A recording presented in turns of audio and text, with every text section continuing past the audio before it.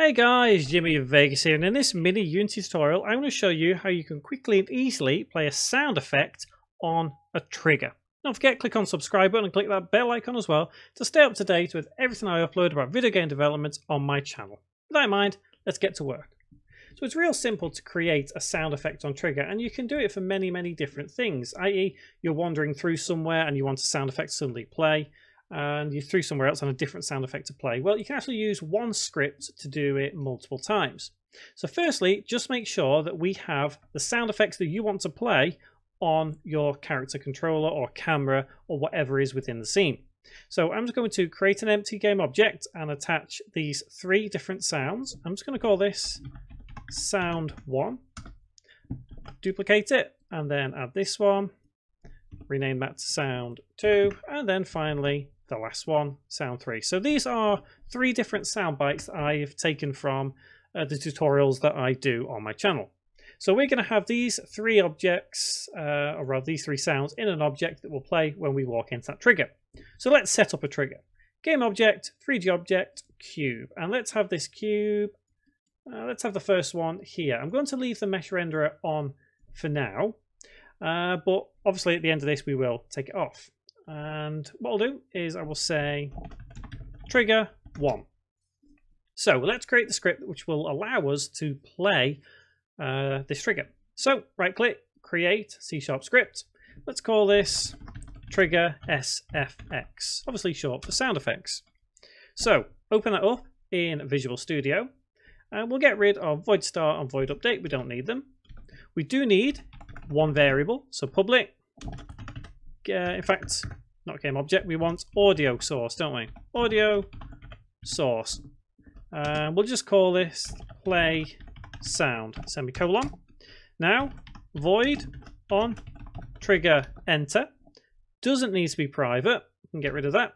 So when we enter the trigger, we're going to say play sound open close bracket dot play.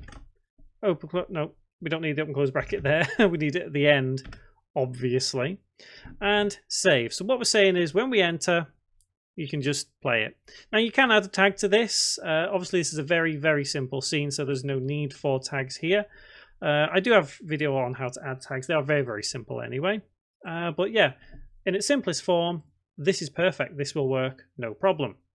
So in order to get this trigger working, we just need to tick is trigger right there drag and drop the script onto that trigger and then add the sound effect down here. So the first one is sound one. And now let's press play. So I'm going to get our first... Oh. So the reason that's happened is because I have accidentally left on play on awake right there. So now let's try that again. So if we walk towards this cube, which is our trigger, as soon as we enter it, we will have the ding. So we can use that duplicate it. And let's move it here. And let's have sound 2 on there. And then once again duplicate. And let's have sound 3 onto there. So if we press play again now we should be able to do the first sound second sound and third. There's one. There's two. And three. So finally because these are triggers we obviously don't want them seen in the scene like this. So we can just turn off the mesh renderer. And finally, let's press play. And there's our true triggers set up, ready. There we go. Perfect. You can trigger one after the other. Awesome. And that is how you set up a trigger to play a sound effect in your scene. Guys, I hope that's helped and I hope that's quite useful for you. Something like that is kind of useful for maybe a survival horror game where you're walking down a corridor and all of a sudden you hear a crash and a bang. Guys, thanks for watching, and I will see you in the next tutorial.